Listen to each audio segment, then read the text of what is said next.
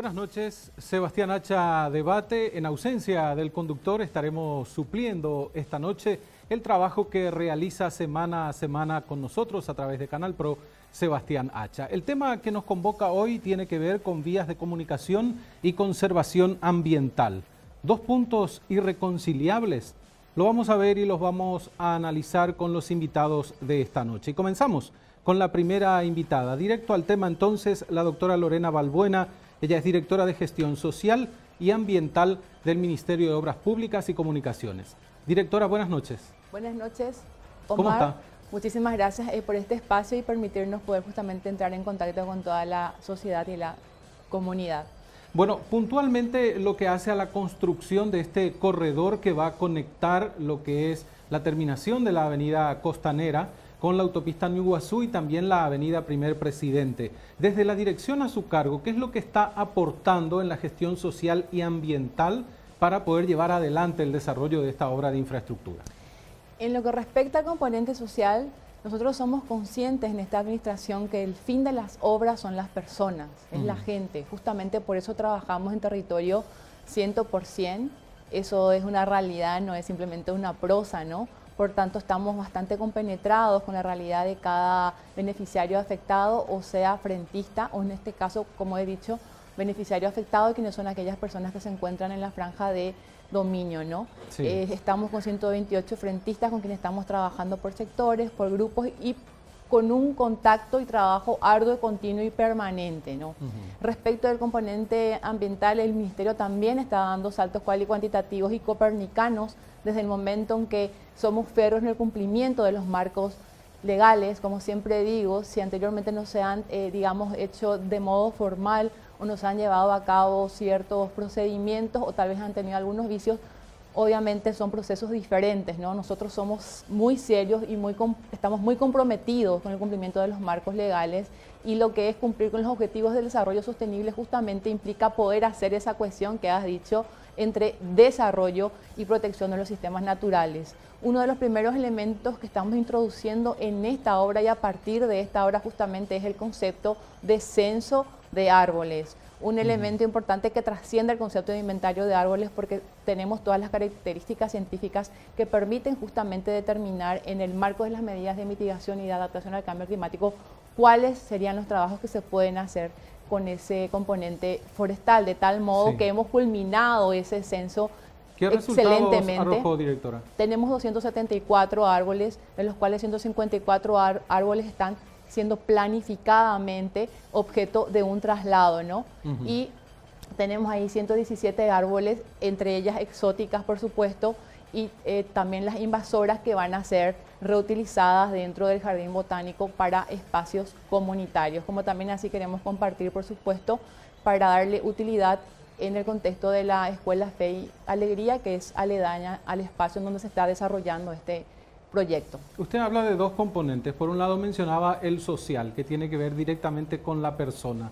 Estas eh, familias afectadas van a ser desplazadas de estos lugares, se va a ver afectada parte de su propiedad, se contempla la indemnización. Recordemos todo lo que pasó con el Metrobús, directora, y los inconvenientes que se generaron con esta obra de infraestructura y el atraso también en el pago de indemnizaciones. El primer componente es entender que tenemos un marco legal, que es la ley justamente de expropiación del Ministerio de Obras Públicas, que permite indemnizar justamente a aquellas personas que han, digamos, construido o han hecho mejoras en sus respectivas eh, casas, en sus respectivos hábitats y se han ubicado en la franja de dominio del Ministerio de Obras Públicas y, Comunicaciones. Para ello, evidentemente, el Ministerio por ley tiene la obligación de compensar conforme a la, a la evaluación que se haga de esas mejoras. Igualmente tiene la obligación de, expropiar e indemnizar a aquellas personas que se encuentran ubicadas en el área de la traza y que por supuesto tienen el título de propiedad. Entonces estas personas son parte de un proceso social, obviamente ellos ya, esto nosotros estamos digamos tomando y de alguna otra forma mejorando el hilo, pero ya es un, proceso que ha venido de años atrás, ¿no? Y lo que hemos hecho es intensificar el trabajo social y por supuesto simplificar en el tiempo los procesos, porque no hay que olvidar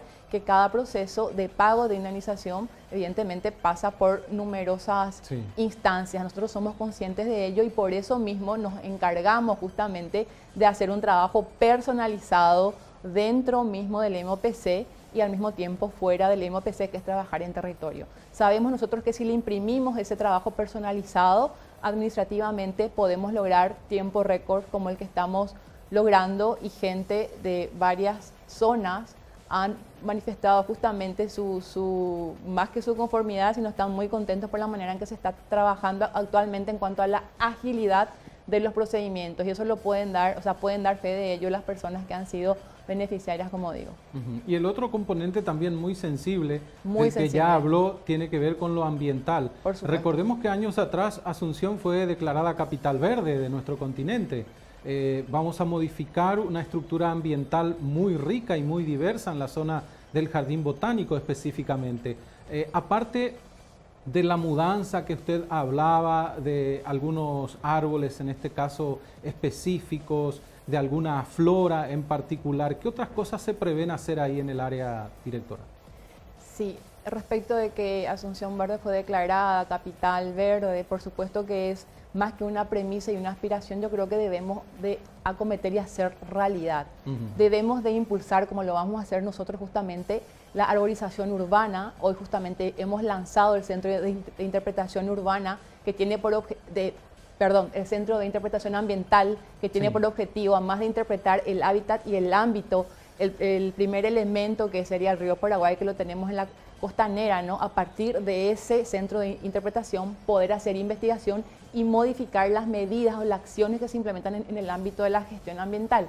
Respecto del punto esencial que ha preguntado justamente, por ejemplo, el estudio que hemos realizado nos permite determinar cuáles son las especies nativas, al mismo tiempo cuáles están en extinción, cuáles no están amenazadas, y todos esos elementos te permiten determinar qué medidas podría uno implementar. Por ejemplo, también la medida de la compensación, la medida de la compensación por un, un, árbol, por 10 árboles, eso no implica simplemente cultivo de plantines, eso implica un programa y un proceso de monitoreo que llevaría un año a dos años, eso implica planificación, participación de todos los sectores y una cohesión y alianza fortísima que va a permitir verdaderamente dar ese cambio y concretarlo, no simplemente hablar de simbolismo, porque por ejemplo en el propio jardín botánico al hacer el recorrido uno puede encontrar, uno puede encontrarse con árboles afectados fitosanitariamente. Entonces también sería bueno que nos, que nos, que nos cohesionemos para poder justamente introducir medidas de conservación, de mejoramiento,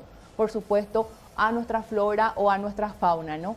En este caso puntual, como le he dicho, se han podido identificar los árboles que están eh, afectados fitosanitariamente y que por tanto también alteran el sistema, el ecosistema en donde se encuentran otros árboles, independientemente de las invasoras y también las, las, exóticas que son objetos justamente de valoración por parte de los biólogos respecto de la alteración que pueden producir en el sistema. Entonces es importante entender también cuál es el alcance de toda la diversidad biológica que tenemos y como siempre digo, hay que dar importancia al concepto de la investigación realmente. La investigación debe de marcar el norte de las políticas públicas que se convierten posteriormente en acciones que se implementan en los proyectos. Considero muy importante el paso, insisto, copernicano que está dando la administración pública, en este caso el Ministerio de Obras Públicas y Comunicaciones, al incorporar este centro, al incorporar nuevas medidas, como por ejemplo también en, el ámbito de lo que nos convoca hoy, de este proyecto, introducimos también el estudio de AVE, justamente que es muy importante, ya tenemos un estudio preliminar de Jurá Paraguay en donde nos,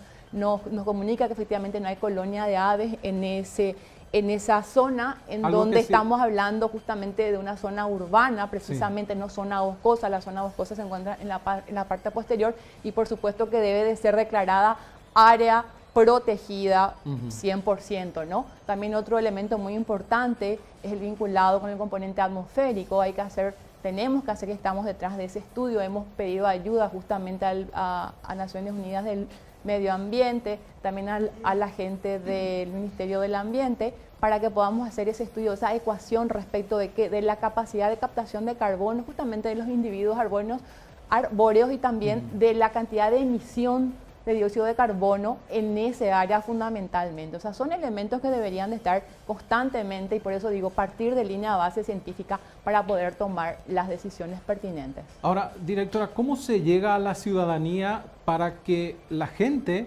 pueda entender todo lo que usted está explicando? Porque muchas veces lo que queda es solamente un árbol talado, más árboles talados para construir un puente. Eh, visto así, tan simple y tan básico, parece que estamos afectando el medio ambiente, pero usted está dando explicaciones técnicas en lo que hace referencia a, todo lo que tiene que ver con lo ambiental y también con el componente social. ¿Qué piensa hacer el MOPC en este aspecto? Precisamente, el Centro de Interpretación Ambiental, que en primer término interpreta el hábitat que le rodea, en este caso tenemos el río Paraguay, que es un elemento importantísimo para nosotros como país, interpretar todo el sistema, su función, y a partir de ahí poder comunicar, bajar las investigaciones, bajar y poder transmitirlas a los niños principalmente y también a la ciudadanía. ¿Cómo lo vamos a hacer? Generando información científica y comunicando. Al mismo tiempo yo entiendo que no es fácil desarrollar obras con un alto grado de sostenibilidad ambiental. Uno, porque es generalmente inverosímil, ¿no? Muchas veces la gente dice, no, pero las experiencias fueron estas. Y yo creo que finalmente cada liderazgo decide, en este caso el Ministerio de Obras Públicas y Comunicaciones, decide qué componente, qué cariz le quiere dar, qué, qué impronta quiere darle a los proyectos que se desarrollan. Entonces, en este contexto, en primer término, es ganar la confianza. ¿Cómo se gana la confianza? Viendo los resultados. Hemos dicho que haríamos un censo de árboles y hemos hecho el censo de árboles. Pueden entrar justamente a la página del Ministerio de Obras Públicas y Comunicaciones. Allí están todos los datos legales que se ha procesado en estos dos años. Nosotros hemos llegado hace cinco meses, pero hemos subido todos los documentos y por supuesto un elemento muy importante, una línea base muy importante es el censo de árboles que se ha hecho con intenso trabajo, con un grupo de jóvenes comprometidos y que creen que es posible dar ese cambio cual y cuantitativo y copernicano. Entonces, respondiendo a tu pregunta en primer término, es hablar con la verdad, no hacer chapuzas, no mentir y por supuesto también que la gente vea los trabajos que hemos hecho. Y creemos en la ciencia, creemos en la investigación, en los resultados y los indicadores que nos van a permitir tomar medidas en este proyecto y en otros proyectos. Por eso digo, este es un proyecto emblemático, hay otros proyectos muy importantes también que van a ser objeto justamente de implementación de qué? De resultados de investigaciones que van a fortalecer las medidas de mitigación, de adaptación y por supuesto las de compensación. Llegar a un equilibrio entre desarrollo y protección de sistemas naturales es un desafío, pero obviamente estamos comprometidos, muy comprometidos con el concepto, no con el concepto de desarrollo sostenible y creo que lo vamos a lograr en la medida en que, en que tengamos más jóvenes comprometidos trabajando en la investigación y podamos también comunicar los resultados. Si los resultados se comunican, no se guardan, sino se comunican a toda la ciudadanía y a toda la población, poco a poco la gente va tomando interés, evidentemente van entendiendo que verdaderamente se está trabajando con la verdad y con la ciencia. Ahora, eso de restituir lo que se modificó a largo plazo es lo que a veces genera dudas en la ciudadanía, directora. Pero usted decía, están hechos los informes. ¿Cómo puede acceder la gente a esta información? Sí, en la web del MOPC se encuentran todos los documentos vinculados a la Costanera Norte que datan del año 2012. La ciudadanía tiene que saber que esto se viene gestando del año 2012. Yo entiendo que tuvo un cambio sustancial en el año 2017.